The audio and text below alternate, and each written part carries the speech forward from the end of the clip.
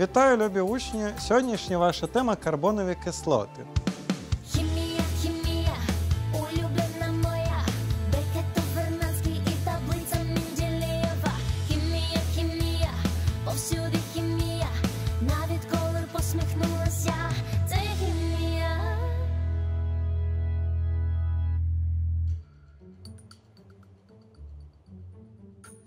Вже проходили цю тему в 9 класі, але сьогодні ми трошки додамо більше інформації та розширимо знання по вашій цій темі.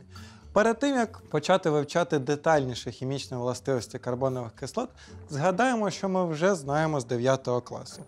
Як ви пам'ятаєте, карбонові кислоти це ті органічні сполуки, які містять у собі карбоксильну групу. Карбоксильна група, в свою чергу, складається з карбонільної групи та гідроксильної групи, які ви можете спостерігати на схемі. Що ж, уважно подивимось на цю групу. Будь-яка кислота має замісник, зрозуміло. Уважно подивимось на цю функціональну групу, особливо на зв'язки. Окремо виділимо зв'язок OH. Як ми знаємо, оксиген електронегативна сполука. Отже, вона тягне на себе електронну густину даного сігма-зв'язку. Нагадую, що сігма-зв'язок це той зв'язок одинарний, а інший тип зв'язку π з'являється тільки у кратних зв'язках. Наприклад, ось тут сігма і π зв'язок. Пі-зв'язок від, е, відрізняється від сігма тим, що він набагато більш рухоміший. І відповідно його зрушення показують не прямою стрілочкою, а вигнутою стрілочкою, для того, щоб показати, що електрони ще сильніше зміщуються у порівнянні з сігма, сігма-зв'язком. До чого це призводить? Це призводить до цілого каскаду ефектів. Наприклад, ті ж самі електрони неподілені, які є у оксигенів, через ось це зміщення намагають зміститись сюди. Але що нам цікаво? Нам цікаво саме зв'язок СО і зв'язок OH. Як ми вже бачимо, зміщення проходить ще сильніше, намалюється жирним, жирною стрілочкою. Чому? Тому що ось цей каскад електронних явищ заставляє нашу електронну пару зміщуватись до оксигену ще сильніше у порівнянні, наприклад, з тими ж самими спиртами. До чого це призводить? Це призводить до того, що оксиген стає набагато більш рухоміший. Саме тому ці кислоти і виявляють кислотні властивості. Вони здатні на дисоціацію з утворенням H з плюсом, тобто йону гідрогену. Що ж відбувається з цим зв'язком? Окремо по хімічним властивостям ми побачимо, в яких випадках може, може приймати участь і зв'язок СО, а не тільки OH. Згадаємо, що ми вже знаємо з класичних хімічних властивостей кислот.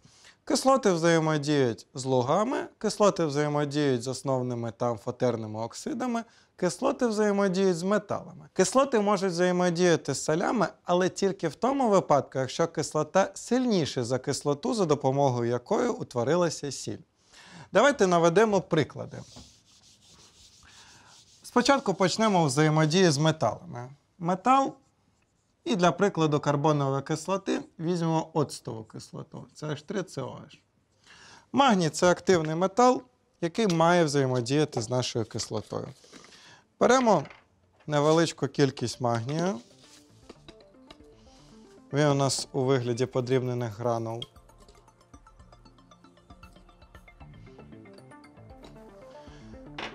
Та заливаємо оцтовою кислотою. В нашому випадку це розчин оцтової кислоти. Як ви бачите, пішло активне виділення газу. Для того, щоб цей газ водень, для того, щоб це підтвердити, збираємо його в пробірці та підпалюємо.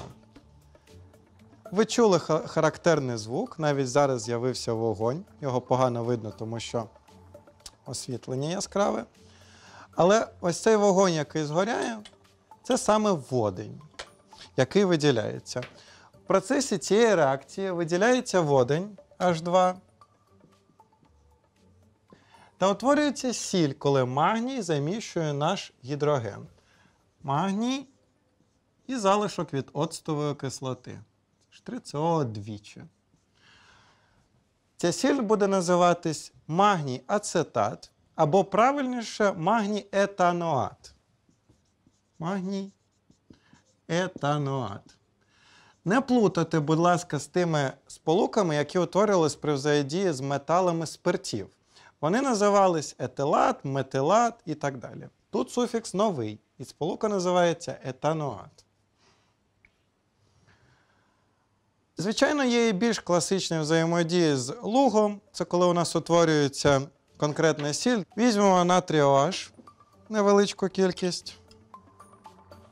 Для того, щоб спостерігати за тим, що реакція реально відбувається, додамо невеличку кількість фенолфталеїну, який є індикатором лужного середовища. Він забарвлюється в малиновий колір, що значить, що там у нас саме лужне середовище. А тепер додаємо сюди оцтову кислоту. Як ви бачите, розчин знебарлюється. Отже, лужне середовище зникає, відбувається реакція нейтралізації. При цьому утворюються наступні сполуки. Запишемо схему хімічного рівняння. Натрій OH плюс оцтова кислота, яку я зараз буду позначати наступним чином. АЦ це залишок ацетат та гідроген, який здатний до дисоціації. У нас відбувається класична реакція нейтралізації, утворюється ацетат натрію та вода. В мене цей ацетат натрію існує у вигляді порошку. Давайте перевіримо, яке ж саме середовище має ця сіль. Розчинимо її у воді.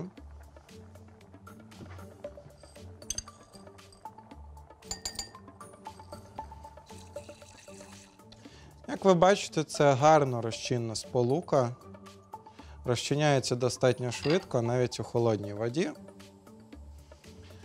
Перевіримо, яке ж середовище має розчин цієї солі. Як ви бачите, папірець забавився в синій кольор. Це відповідає він синьо-зелений. Це відповідає pH приблизно 9-10. Звідки у розчині солі з'являється лужне середовище? Давайте це пояснимо.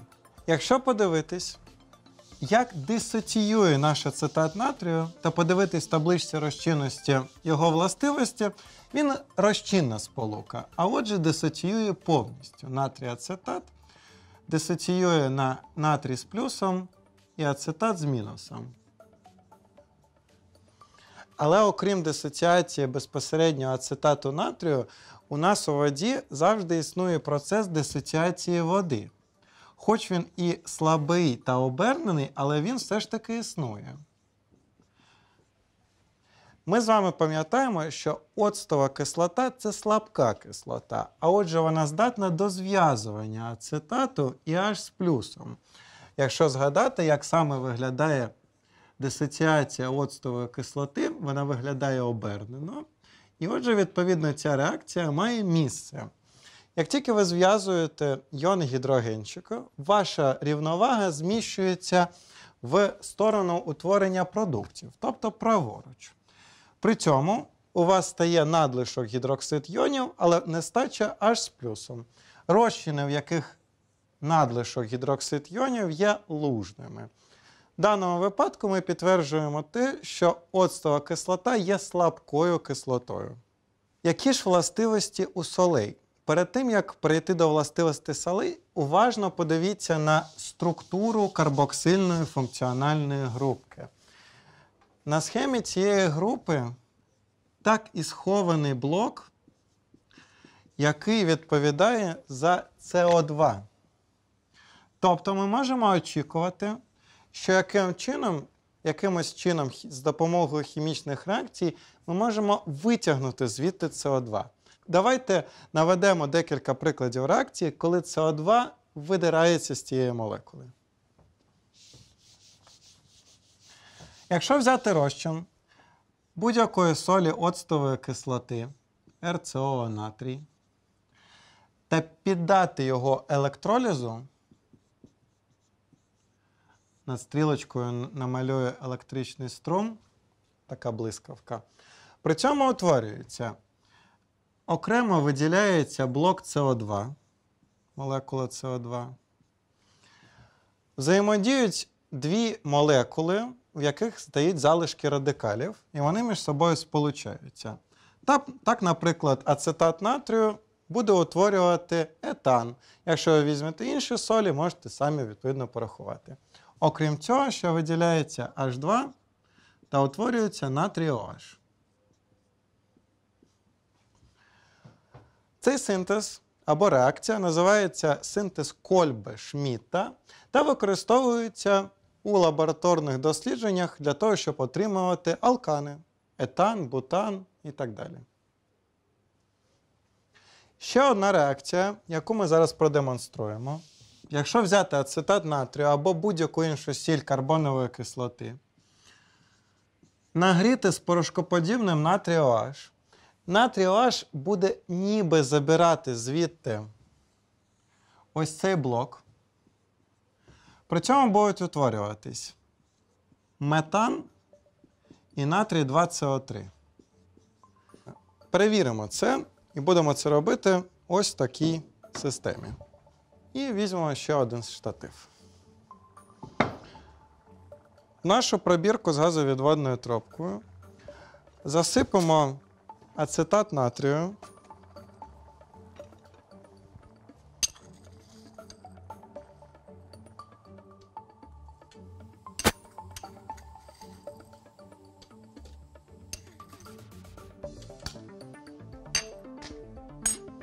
Деяку, деяку кількість лугу, але перед цим вдягнемо рукавички.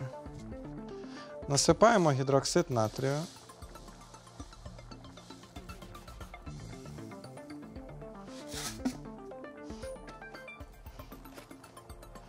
Трошки перемішаємо.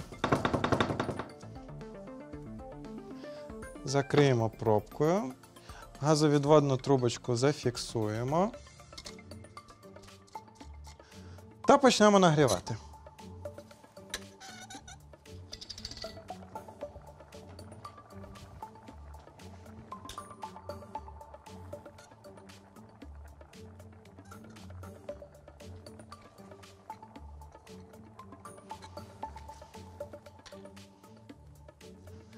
Ацетат натрію існує дуже часто не у чистому вигляді, а у вигляді гідрату. Тобто він на себе натягує деяку, молек... деяку кількість молекул води. І відповідно зараз ви можете спостерігати, що там утворюється рідина, це і є вода.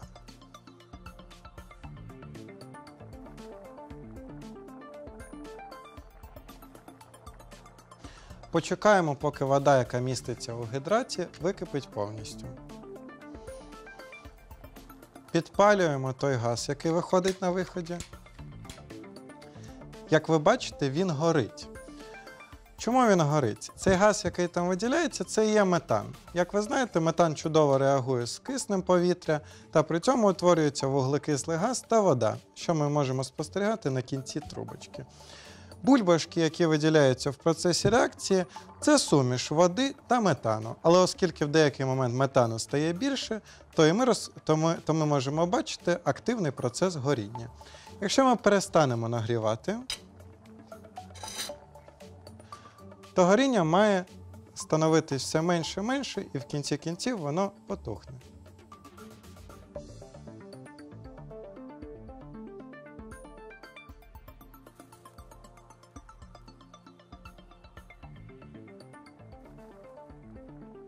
Реакція, яку ви тільки що спостерігали, має іменну назву, і вона називається реакція Дюма. Перейдемо до інших хімічних властивостей кислот. Кислоти взаємодіють зі спиртами.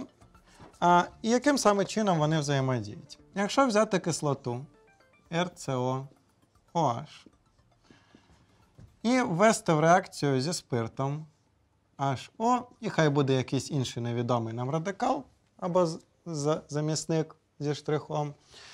При цьому виділяється вода. Зрозуміло, що вода утворюється саме з цих груп.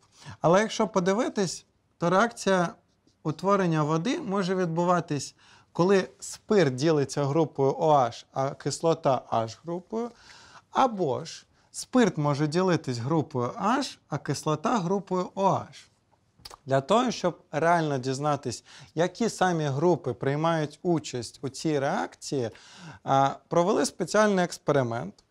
У спирті взяли окрему групу і брали не звичайний оксиген, а так званий мічений оксиген. Тобто частка оксигенів була заміщена на радіоактивний оксиген 18. За ним дуже легко спостерігати, оскільки в нього є радіоактивне випромінювання. Сполучивши ці наші групки OH у воду, ми отримуємо нову сполуку RCO, О і залишок від спирту R'. Якби у нас мічений оксиген був би у спирті, і реакція утворення води проходила по першому типу, ми б побачили цей мічений оксиген у воді. Але насправді ми бачимо його у спирті. Отже, трошки нелогічно, але кислота в даному випадку віддає не H групу, а саме OH. І рветься зв'язок СО. Цей кисень, цей оксиген залишається звичайним, а цей оксиген залишається міченим. Новий тип сполук, який має нову функціональну групу, називається естери. Відповідна група називається естерна, а сама реакція називається естерифікація. Стара назва цих сполук складні ефіри. Е, Ви можете знати, що ефіри це ті сполуки, які дуже легкі і зазвичай мають приємний запах. Саме так, з різних кислот, які дуже часто пахнуть неприємно, як то різкий запах оцтової кислоти, або, наприклад, дуже неприємний запах масляної кислоти, можуть утворюватись естери, які пахнуть дуже і дуже приємно.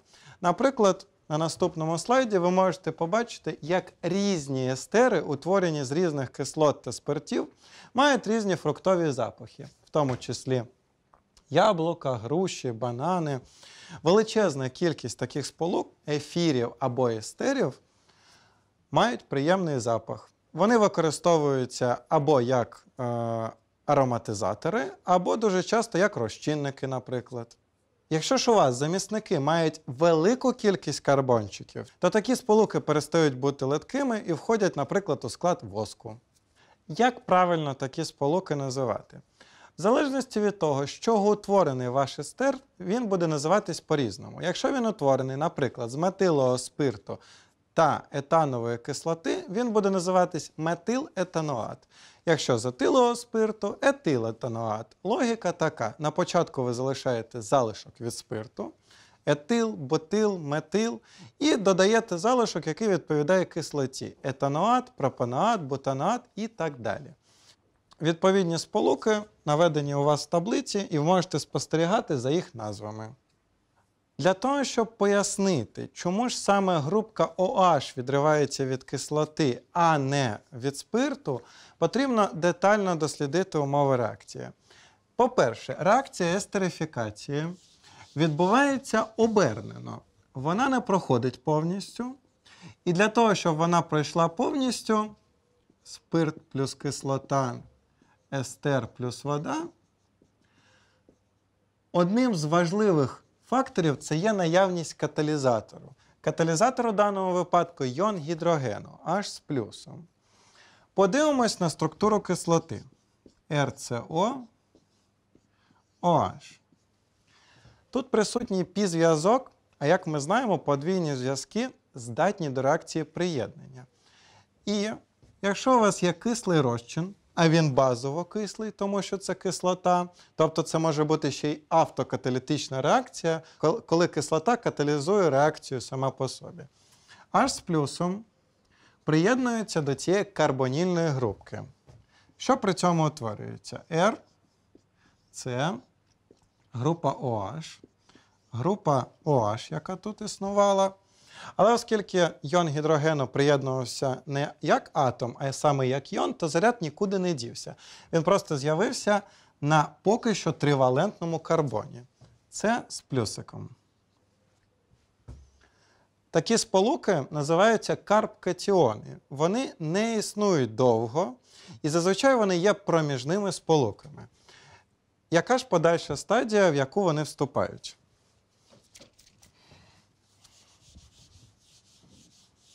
Ось цей карбкатіон R, С, OH, OH з плюсиком, може вступати в реакцію із спиртом. Що важливо у спирті? У спирті важлива наявність неподілених електронних пар, які є у оксигену. Оскільки тут знаходиться плюс, а отже і вільні електронні комірки, то оксиген може подати на них свою пару і утворити зв'язок. Такий механізм утворення ковалентного зв'язку називається донорно-акцепторний. Запишемо, що утворилось. R, С, дві групки OH, групка OH, зв'язок О, R і H. Утворюється відповідно сполука, але оскільки заряд не зникає, він з'являється на оксигені. Подивимось на цю структуру. У нас тут поруч знаходяться дві групки, які так і просять сполучитись у воду. Так в реальності і відбувається. Вода відходить, цей процес називається елімінація, плюс H2O. І утворюється наступний карбкатіон. Я вам вже казав, що карбкатіони це нестійкі сполуки. Отже, йому потрібно якось стабілізувати себе. І для того, щоб стабілізуватись, він робить наступну річ. RCOH з плюсом О. R, який залишився від спирту, наприклад, він виштовхує від себе H з плюсом. Тобто він звідси уходить. А сама сполука утворює тут подвійний зв'язок. Тому H із плюсиком уходить, утворюється наступна сполука. Естер. Така, такий механізм реакції називається кислотний каталіз. Каталіз, тому що каталізатор H з плюсом і на початку був H з плюсом, і в кінці залишився H з плюсом. Кислотний, тому що H з плюсом являє собою кислоту по факту. Яким же чином отримують карбонові кислоти? Найпростіше, що можна придумати, особливо в лабораторних умовах, ми знаємо, що карбонові кислоти це слабкі кислоти. Отже, можна взяти сіль цієї кислоти, більш сильну кислоту. Отже, можна взяти сіль цієї кислоти та більш сильну кислоту, наприклад, сірчану. І при цьому у нас утвориться,